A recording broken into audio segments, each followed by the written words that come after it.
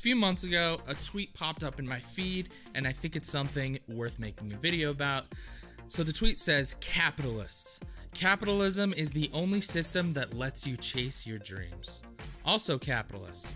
Fuck art degrees, history degrees, literature degrees, or any other degree that's not profitable for capitalists to take advantage of. First of all, let me just say, I have a literature degree. I know some people who have history degrees, and history degrees and literature degrees are pretty marketable. In order to get a history degree, in order to get a literature degree, you actually need to know how to communicate very complex ideas. That's something that's extremely marketable to almost every company. You have the ability to make a living with one of those degrees. They're not bad degrees at all to get. However, what's the history of capitalism in relation to the history of art?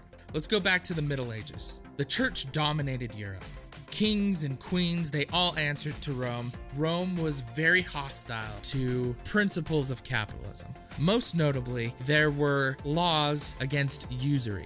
Now, at the time, what usury meant was simply the collection of interest on loans. If you had a thousand dollars in the Middle Ages and you said, I will loan this to you for a certain amount of time, and in return, when it comes time to pay, I want you to pay me a hundred extra dollars, right? So 10% interest. That was seen as a sin back then. So much so that in Dante's Inferno, usurers were relegated to the seventh circle of hell and their punishment for collecting interest was that their hands would constantly be moving in agonizing pain. And the reason for this is because they made a living in life by never using their hands. So they were doomed for eternity to just have constantly moving hands. Pretty messed up for something that seems like an obvious trade. If you're gonna loan somebody money, you're taking a risk and you should be rewarded for that risk.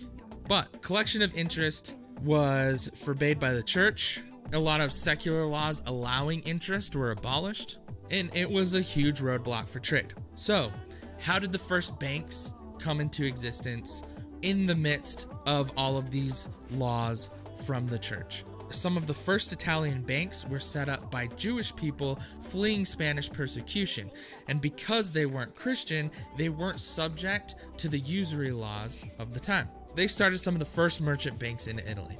After time, you get more and more financial institutions until you get to the late 1300s when the Medici Bank is founded in Florence. Now, the Medici Bank is one of the most successful early banks. The Medici Bank was established by Giovanni de' Medici, but his son, Cosimo de' Medici, took over the bank when Giovanni died. At this time, you started seeing people with vast amounts of wealth. More wealth than most people had prior, especially people who weren't kings, who weren't popes, who weren't part of the church. This was one of the first cases in medieval times where somebody who was born into poverty found success and found a lot of wealth. What do you do with all of this excess wealth? What do we do with it now? We use it on luxuries. And there's no better luxury than art.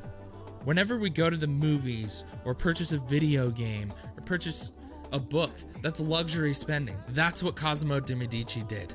And the Medici family, for the next hundred years, financed some of the greatest artists, artists that define the Renaissance. Donatello's statue of David was financed by Cosimo de' Medici so he could place it in his palace, the Palazzo de' Medici. This statue was extremely revolutionary for its time.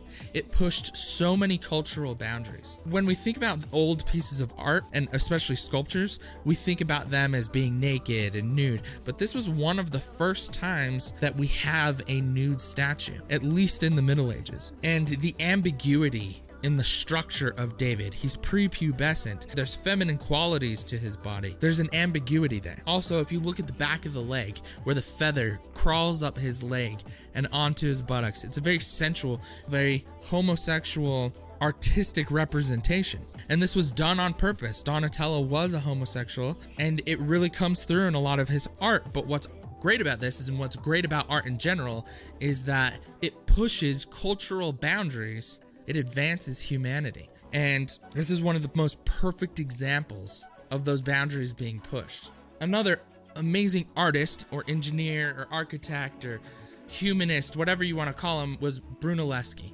Brunelleschi is one of the greatest figures during the Renaissance. In order to understand Brunelleschi, you have to understand what life was like in Florence at the time and Europe in general. This is the Santa Maria del Fiore Cathedral in Florence. It started construction in the 1200s, but for more than 100 years, the dome was incomplete. They started construction, but they couldn't figure out how to build the dome. And they hoped that, you know, at some point somebody would come along and figure out how to build a dome. We knew domes were possible because ancient civilizations had domes, but nobody had built a dome in almost a thousand years. At this time, the rise of humanism started taking place, where Greco Roman antiquity was held in such high regard. So, in the 1400s, Donatello and Brunelleschi visited Rome to study the ancient ruins. Brunelleschi looked at all of these structures and thought to himself, I know how to build this dome. But he was a very eccentric person, and a lot of people didn't have confidence that he would be able to construct the dome for the cathedral in Florence, except for Cosimo de' Medici.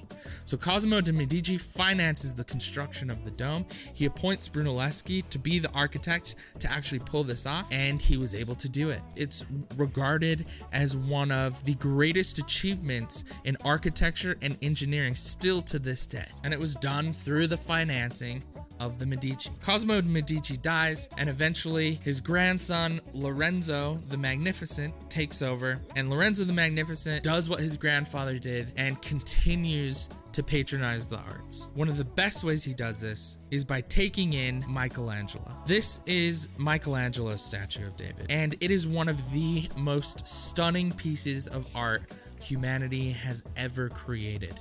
It is purely magnificent just to look at. The attention to detail, everything about it is just incredible. It's just plain, it's just purely incredible to look at. But Michelangelo, his first lessons in sculpting were financed by the Medici. Almost his entire life, the Medici financed so many works of art by Michelangelo. Even their family tomb is adorned with Michelangelo sculptures. But it wasn't just Michelangelo that they financed, and it wasn't just artists. The Medici financed the work of Leonardo da Vinci, someone who didn't just pursue the arts but pursued science. They're responsible for financing Galileo Galilei. The rise of this financial institution is responsible for some of the greatest works of art, for some of the greatest engineering feats in history, for a pursuit of science and humanism that hadn't been seen for a thousand years. And during that thousand years, that's when the church ran everything. That's when dogmatic thinking, that's when control of markets and control of people was the norm. If we look at that, we see when people break free from that control and are able to operate freely in a market, I don't think it's any coincidence that some of the best art and science and architecture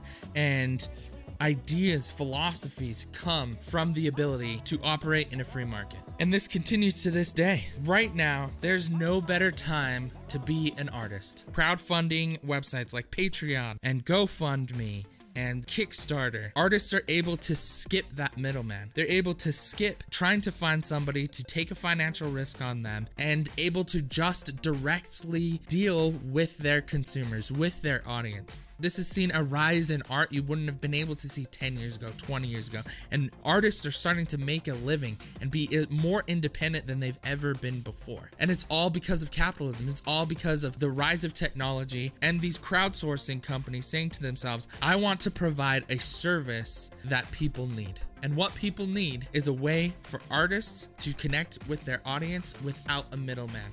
How do I create that avenue for them to do that while also making a profit? And we figured it out. Everybody's winning. There's never been this much of an abundance of art. Even the poorest people in our country can consume art on scales that people haven't been able to throughout all of history. People would go the majority of their lives, maybe their entire lives, without art, without seeing a play, without hearing a symphony, without hearing music, without reading a book, without connecting to the rest of the human race through a story or an image. But that's all changed now. And it's all changed because there's no dogmatic thinking trying to control how we interact and how we trade with each other. And there's a level of beauty to that that no artist could dream of. All right, that's going to do it for today. Please make sure to subscribe to The Value of X, hit that like button, hit that share button, and hit that bell icon to get notified whenever we upload a new video. Until next time, what's your value of X?